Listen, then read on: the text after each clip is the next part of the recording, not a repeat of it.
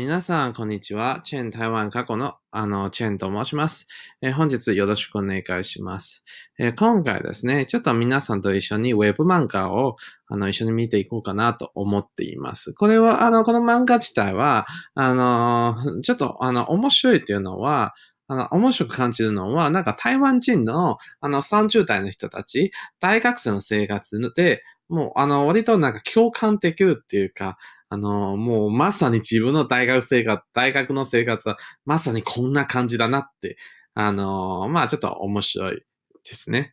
なので、まあ今回はこの漫画一緒に、あの、まあ中国語を勉強しながら、ちょっと今の30代の、台湾人30代の人たちの、あの、に、あの、大学生活は一体どんな感じなのかっていうのは、まあちょっと一応この漫画は連載なので、あのはい。で、まだ、あの連載、まあ、今回は第1話だから、まだ第2話、第3話、第4話、まあ一緒にやっていこうかなと思っていますね。なので、あの、楽しかったら、ま、あの、この、面白そうだったら、また次回、お願い。あの、また次回、まあ、あの、楽しみにしていてください。はい。で、あのー、はい。じゃあ行きましょう。で、最初は、まあ一応その、あの、生徒さんのあの要望によって、あのー、もう最初の時に、まあ一回全部中国語を読んでから、まあちょっと説明していくので、あのー、なので説明はまだ後々で、あの、よろしくお願いします。什么？选个课也要去网咖？选课这件事需要那么大费周章吗？我真的无法理解，是从那时候开始的吗？无法理解自己，哈哈哈！这台都几年了，画质还这么好，真的超棒，连我家完美无缺的电脑，就像一台古朝鲜电脑，都不当成古董电脑来看的那天，顶着寒风刺骨对啊，顶着刺骨寒风也要去网咖的理由就是抢课，很好，还来得及。选课前十五分钟抵达网咖，在即时排行榜上看到我们学校的名字，科科科科科科，好神奇！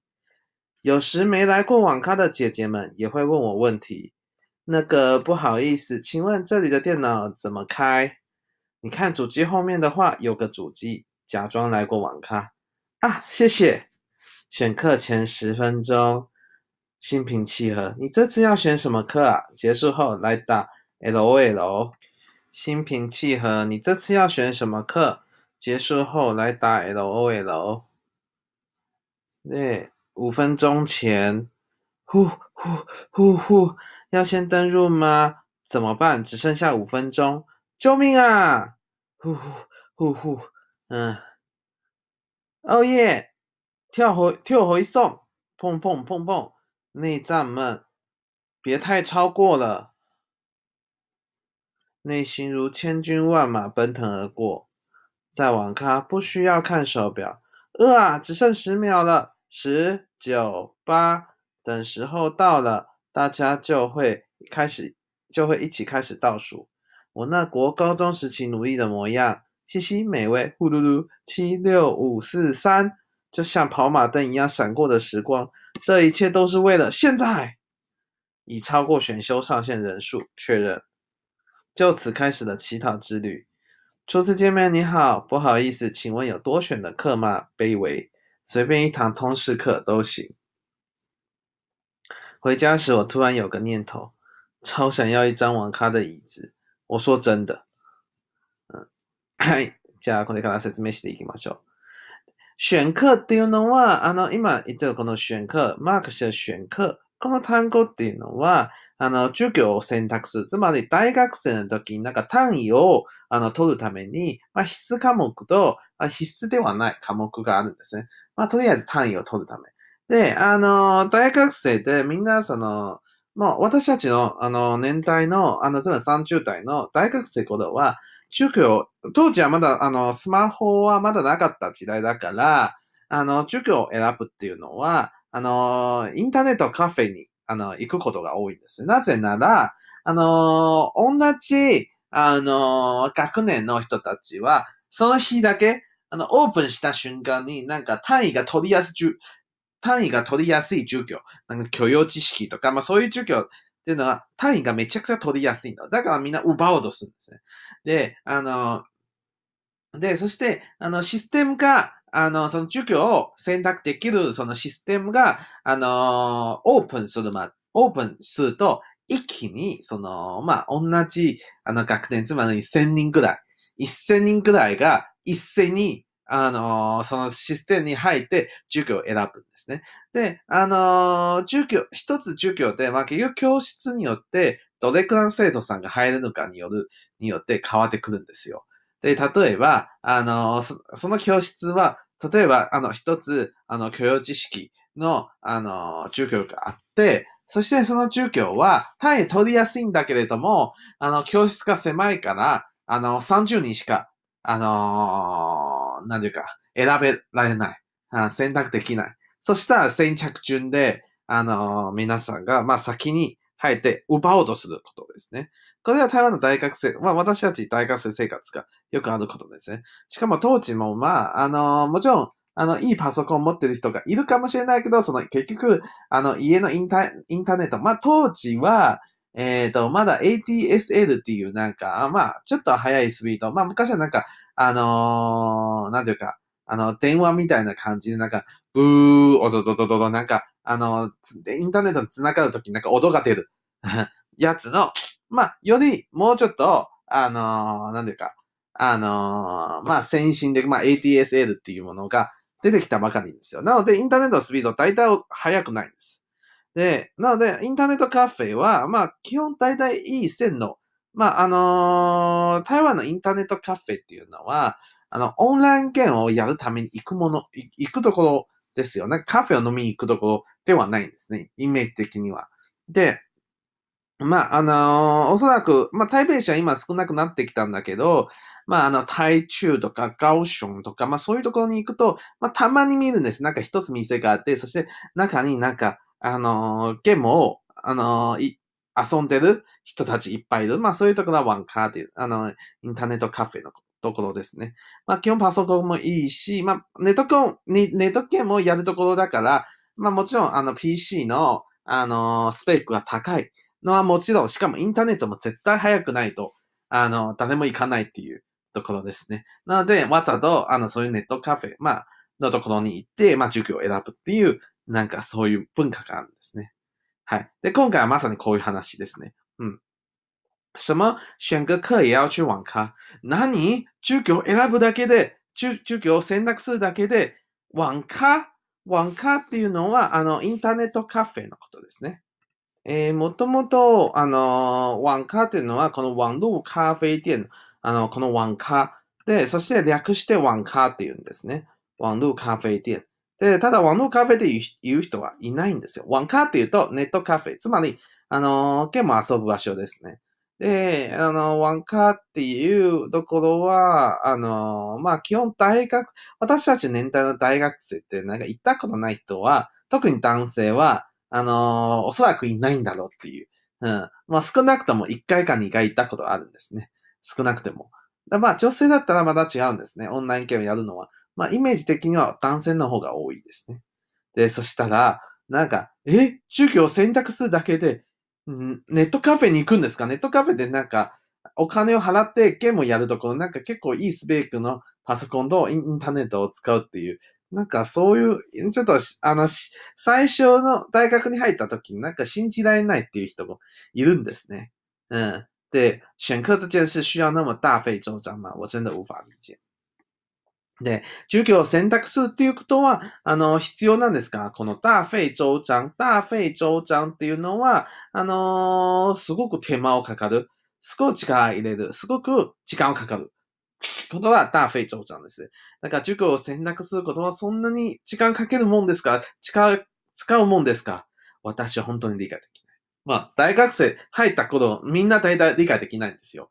うん。中国選択するのはポチポチ押すと選択できるんじゃないの。うん。なので、是从那時候開始的吗？あの時から始まったんです。まあ、これから説明し始めたんですね。無法理解自己。結局自分のことを理解できないと。うん。哈哈哈，这台都几年了，画质还这么好。このパソコン、このパソコンはもう何年も経ってる。画質はまだこんなに、本当に超いいですね。なんか、あの、これ、これはなんかドラマ見てる感じですね。なんかドラマ。まあ、あの、台湾では、台湾人はなんか、あのー、まあ、やっぱり、あの、テレビで見るっていうよりは、インターネットで、あの、なんかドラマシリーズを、あの、追いかける、まあ、追いかけて、まあ、干渉する気とか、あの、結構多いんですよ。うん。なので、まあ、あの、見れるんだけど。なんか、連我家完美無缺点な。なんか、か、完美無缺、無缺っていうのは、あのー、なんていうか、あのー、例えば、あのー、まあ、今、絵を描くと、えっ、と、例えば一つリンゴがあって、えー、すいません、絵が下手くそで。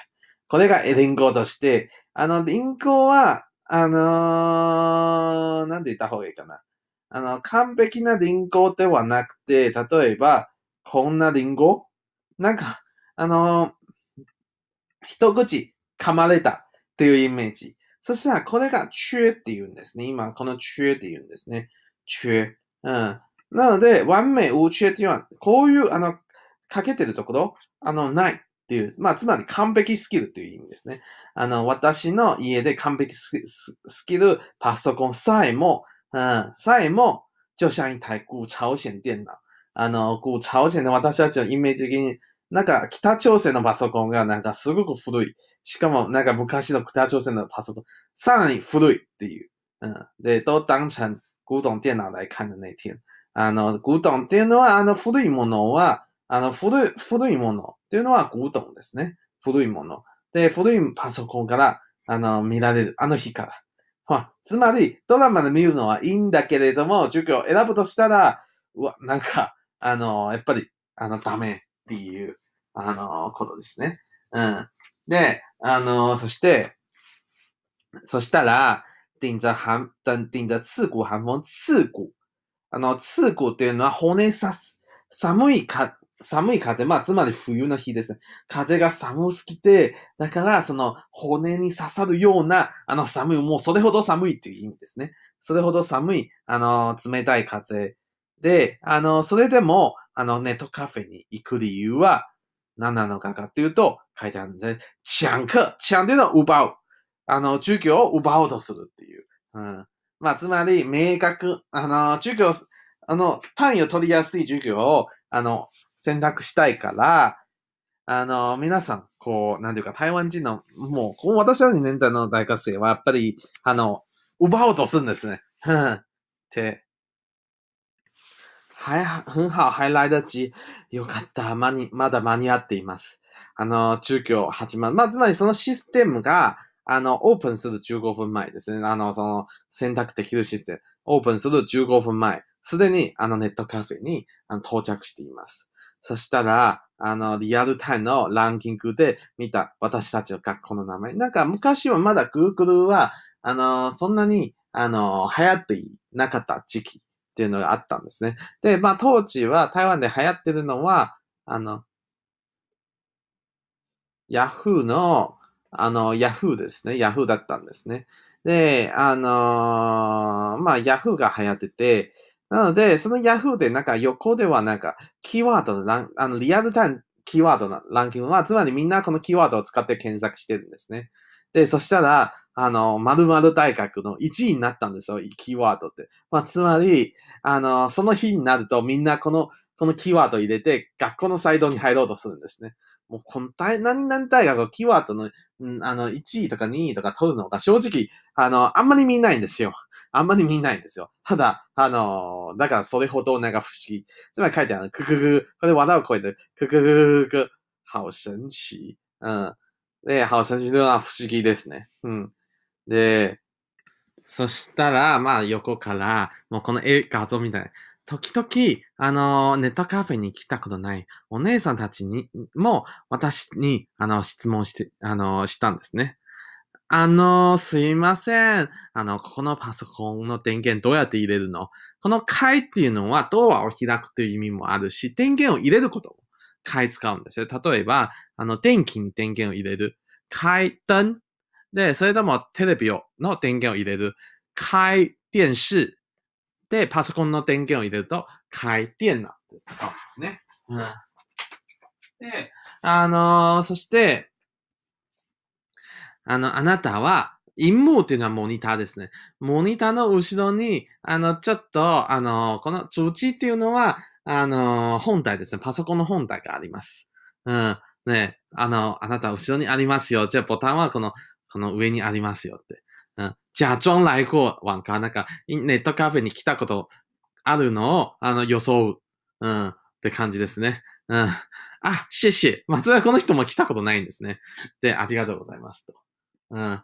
で、そして、あの、選課前10分鐘、授業8、あの、授業選択数8の、全、授業選択するそのシステムオープンの10分前ですね。心平气和。この心平气和というのは、心が穏やか、落ち着いてる。で、横も落ち着いついてる状態ですね。横から、これ横から声ですね、ここ。で、你这次要選什么課まあ、つまり、あの、隣同士は、もうみんなはね、あの、中期を選ぶためには、あの、ネットカフェに行くんですよ。その日だけ集まるんですね。なんか、あの、おもし、面白い、台湾人にとっては面白いことは、あのー、私らの年代の人だと面白いことは、なんか、例えば家にパソコンが、あの、あったとしても、なんかいいパソコンがあったとしても、なんかネットカフェわざわざ行く人もいるんですよ。まあ、その雰囲気はやっぱり、あの、味わいたいというか、なんていうか、うん。だから、まあ、あの、なんか、どちらかというとなんか遊ぶために行くっていう人もいるんですね。じゃあ書いてあるんです。あなたは今回との授業を選びますかって。まあ、これは隣の当時の会話ですね。そしたら、結束後、終わった後に LOL を遊びます。LOL っていうのは、あの、オンラインゲームですね。あの、オンラインゲーム。なので、あのー、まあ、オンラインゲームのことが LOL。まあ、オンラインゲームのことっていうか、あの、オンラインゲームの中の一つの、あの、ゲーム。あの、オンラインゲーム、すべてのオンラインゲームは LO っていう、LO ってはなくて、LOL っていうゲームです。すいません。ちょっと、あの、話がややこしくて。で、そした、あの、そして5分前になると、今は10分前です。みんな大体穏やかな感じですよ。穏やか、終わったら何しますか？みたいな。あなたは何を選びますか？で、本人も、あの、穏やかな状態です。それ5分前になると、この、ふう、ふう、このふう、ふう、ふう、ふうっていうのは、あのー、空気、なんか、この風ですね。あの風ですね。で、つまり緊張している状態。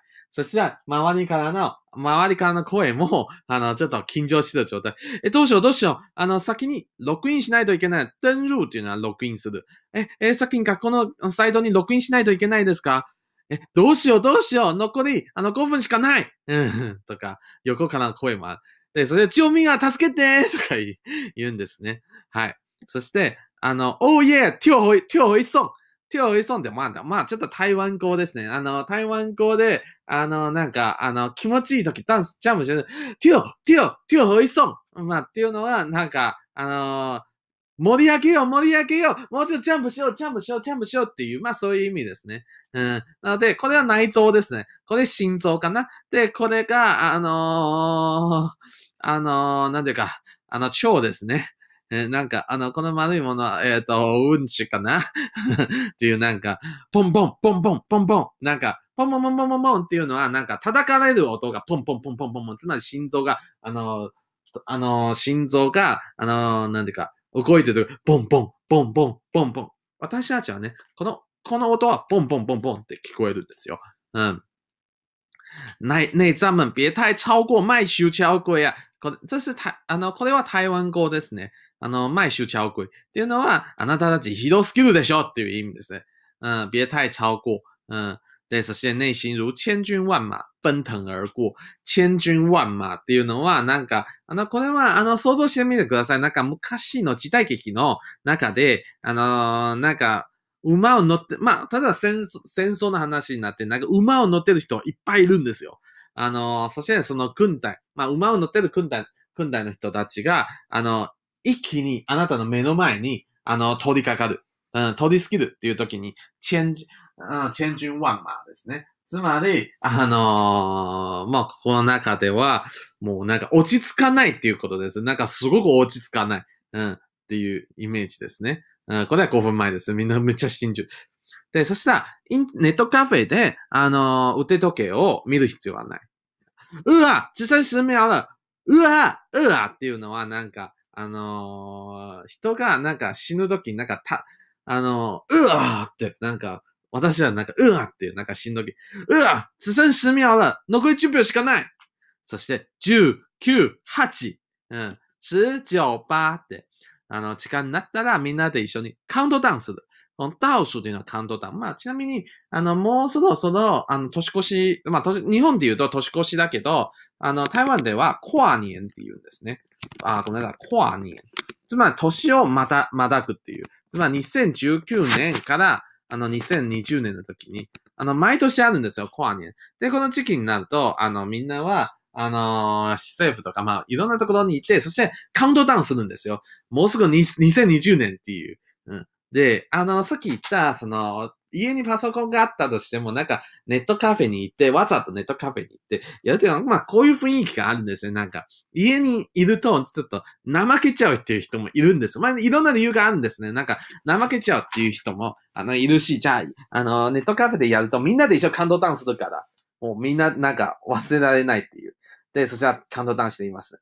お、これ本当ですよ。なんかそのネットカフェ、特に学校の近くのネットカフェはすごく、その大学生の人しかいない。で、そしたらみんな一斉に、うん、何百台のパソコンがある。で、一斉に10、9、8ってなんか数値をバーってカウントダウンしますね。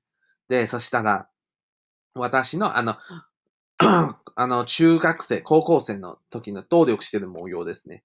うん。で、あの、像跑馬灯一样闪过的時光。跑馬灯は相場と、なんか相場とみたいになんか流れた時っていうのがあるんですね。これは、あの、台湾人にとっては分かりやすいんです。なぜな、特に30代の人たちにとっては分かりやすいんですね。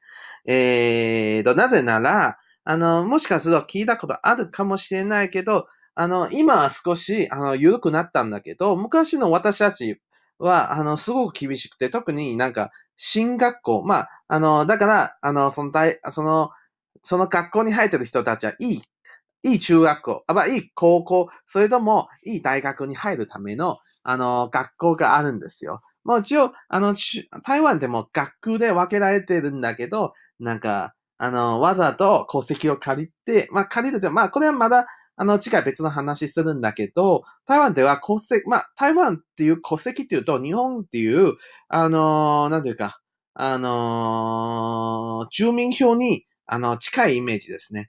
日本だったら、あの、戸籍は、あのー、もう戸籍作ったら、もう、あのー、動かせない。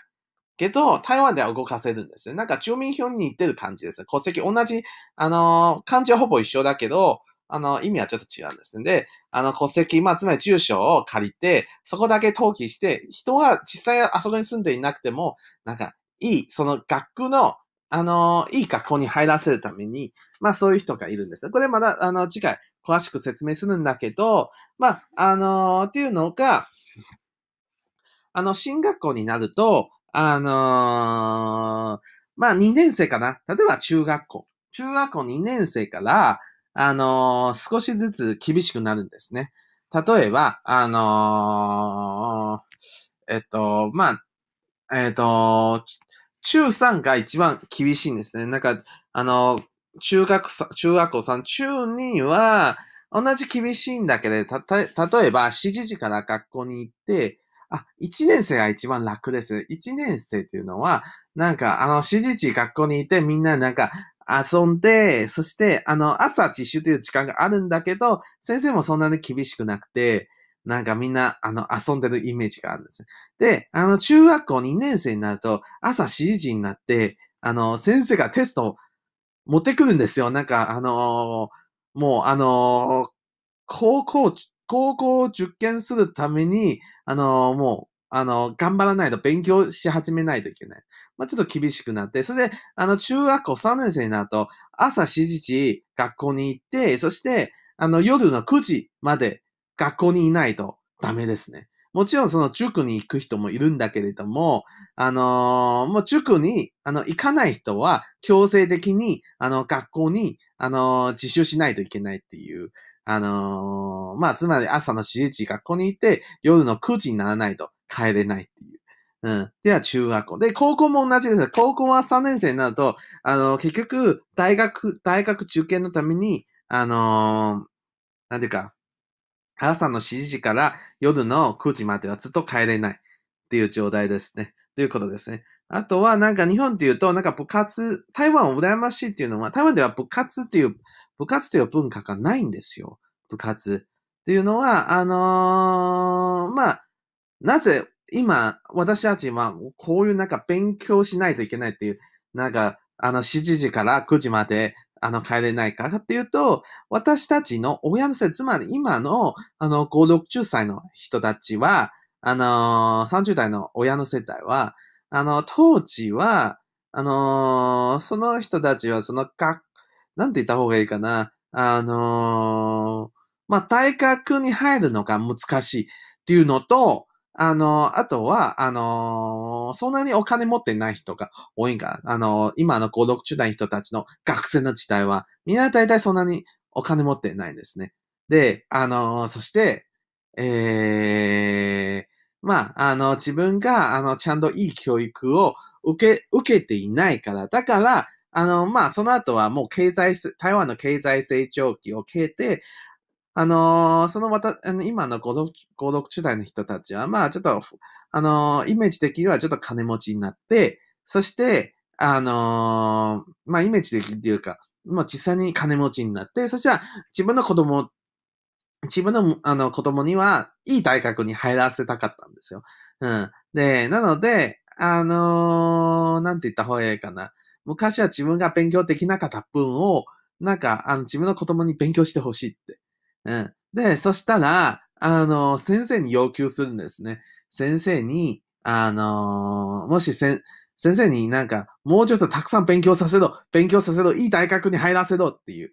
で、そしたら遊ばない、逆に、あの、先生が、あの、生徒さんを遊ばせたら、あの、そしたらせん、あの、親は、あの、抗議しに行くんですね、学校に。うん。抗議っていうか、なんか、あの、文句言いに行くんですよ。うん。まあ、それほど、まあ、しかも一人の親じゃ、じゃなくて、なんかみんな大体同じですよ。うん。なんか、あの、私なんっていうのはそういう地帯だったんですよなので、勉強熱心っていうか、まあ、ちょうどその地帯になってるんですね。うん。で、まあ、ただ、朝7時から、あの、9時までずっと学校にいるっていうのは、やっぱり、なんかもちろん、あの、頑張って、あの、勉強する人もいるんだけども、大多数の人はやっぱり、あの、ちょっと学校をサボ、特に高校生ですね。学校をサボったり、それとも授業中に寝たり、寝れたりするんですよ。うん。なので、あの、私の、あの、まあ、つまり、その、台湾、今30代の人たちの中学生、高校生の頑張ってるっていうのは、あの、大学、いい大学、いい大学を卒業するためです。なので、この単位を取る話ももちろんそうだし、なんか、あの、いい、いい単位、あの、取りや、あの単位、えっ、と、なんて言った方がいい？あの、取りやすい授業を、あの、選択して単位を取って、そしてうまく卒業することが、あのー、今まで努力した、努力してきた、あのものですね。つまり、この書いてあるんですよ。私昔の努力していることは、相場とと同じように、あの、なんか、なんていうか、まあ、ボタン押した瞬間、あボタンというか、そのみんな、その、あの、カウントダウンする瞬間、もう思い出したんです。まあもちろん、このちょっと、あの自分で皮肉してるっていうか、まあ結局、あのー、学校触ってなんか食べたり、それとも授業中寝てたりしてたんですね。ね、カウントダウンしてますね。7、6、5、4、3っていう。うん。で、这一切都是为了现在。このこのすべては、一へというのはすべては、今の、今のためだと。あの、そしたらボタンを押してるんですね。あの、まあ、つまり、昔頑張ってるのは、あのー、この単位を取って、そ、大学を卒業するためだっていう。うん。で、そしたら、これは一番悲しいものが、あ出てきましたよ。なんか、この吹き出しや、以超過選修上限人数。もうこれ、あの、もう超過しています。その、あのー、自分の選んだ、あの、授業の、選択した授業の条件人数に超えましたと。つまり選べられなかったんですよ。それは確認ボタンがある。これが一番、あの、残念ですね。うん。で、あの、ここから始まったのは、このチータオ。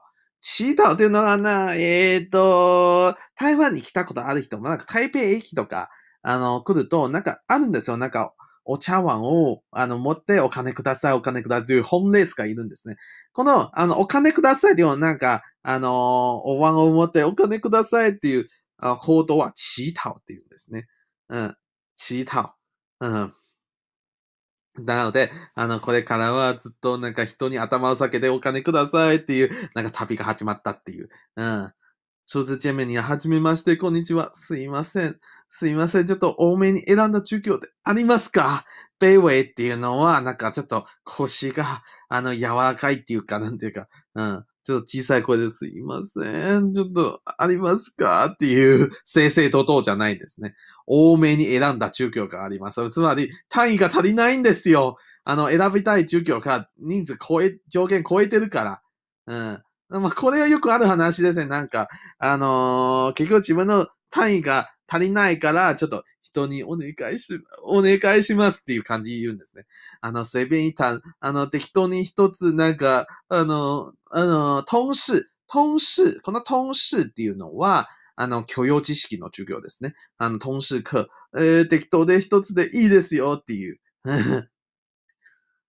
回家時我突然有个念頭。あの、家に帰る途中で私はちょうど一つ考えがあります。超想要一張網咖的椅子。あのー、あのネットカフェの椅子がめちゃくちゃ欲しいんですよ。我说真的、私は本気で言っています。つまり、あの、これは皆さん絶対わかる話ですよ。なんか、あの、結局住居を選んだかどうかっていう、まあそういう話はもう、あの、なんていうか、あの、最終的な感想としては、あの、欲しいです。この、まあ、基本なんか長く、あの、座ってもらって、そして毛も、あの、気持ちよく遊ぶっていうのが、もともとそのネットカフェの目的だから、いい椅子を選んでるんですよ。気持ちいい椅子を選んでるんですよ。うん、だから、あの、皆座って超欲しいな。あ結局、あの、皆さんの感想はこんな感じ。まあ、大学授業を選択、選ぶことはもういい、みたいな。私は本気で言ってますっていう。うんっていう感じ。まあ、あの、これ、こういう連載があるんです。まあ、大学生の生活っていう。なので、まあ、あのー、まあ、あのー、台湾人、まあ、特に30代の人たちの会話のネタになるんだろうと思って。あの、ちなみに、あの、今の大学生って、なんか、あの、結局ネットカフェで行く人もいるらしくて、あの、私の、あの、なんていうか友達を、から、あの、聞いた話っていうと、まあ、あの、やっぱりネットカフェで行くのは、なんか、どっちかというと今は、あの、スマホ時代だから、スマホでも選べられるんだけど、その雰囲気だけ、あの、みんな一緒に行ってるから私も一緒に行くみたいな、まあそういう気持ちもあるみたいで、まあもちろん、あのー、まあそれ気にしない人もいるから、まあその、なんていうか、あのー、携帯で選んだりして、まあちょっと時代も変わってきたんだけど、まあ、でも、あのー、やっぱりちょっと違うっていう話ですね。なので、まあ今回は、あの、ちょっと、あの、大学生の、台湾人の大学生の、まあ話っていうか、漫画をやりましたので、なので、あの、次回もし興味があったら、まだ、あのー、まだ、見て、見てみてください。うん。はい。以上です。お疲れ様でした。